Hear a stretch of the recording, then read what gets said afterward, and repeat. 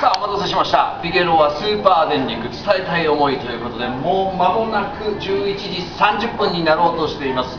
これからテレオペ3人娘が皆さんからの電話を受け付けます。さあ10秒切りました。いきますよ。後ろ姿しか映せませんけどもかなりの上玉でございます。さあスタートです。お願いしま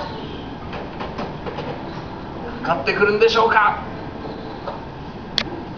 おお来ました来ました来ました。ということで今日も皆さん一日よろしくお願いします